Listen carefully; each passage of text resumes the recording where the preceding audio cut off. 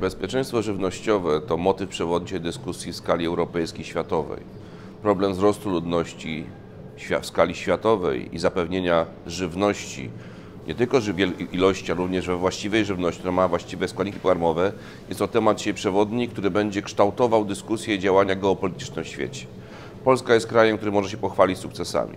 Nasze przeobrażenia w ciągu 25 lat wolności są niespotykane w świecie. Rolnictwo z nieefektywnego przekształciło w nowoczesne, przekształciło w nowoczesne rolnictwo, w nowoczesne uprawy, efektywne, które wykorzystuje najnowsze zdobycze i przemysłu nawozowego, techniki i technologii.